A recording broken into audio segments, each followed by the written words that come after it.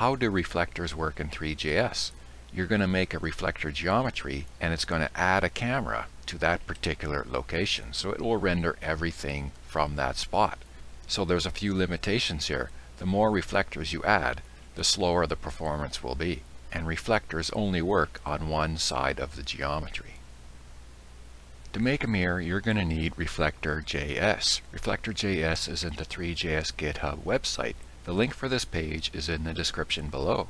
I put Reflector.js in my modules folder and when I click it, it will open up and you have to change this path to where three.module.js is located in your code editor directory.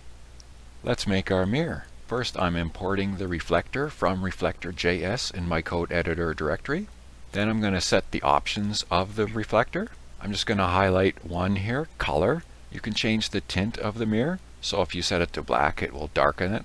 And if you set it to white, it will lighten it. And then anything in between will do that. And then I'm creating the geometry for the mirror. You can try different types of geometry to see what they look like. Then I'm going to create a new instance of the reflector class. So I'm creating a new reflector and I'm passing in the mirror geometry and the mirror options into this mirror object. And once I have that mirror object, I can rotate it and position it however I like and add it to the scene. And that's how you can create a mirror in three.js.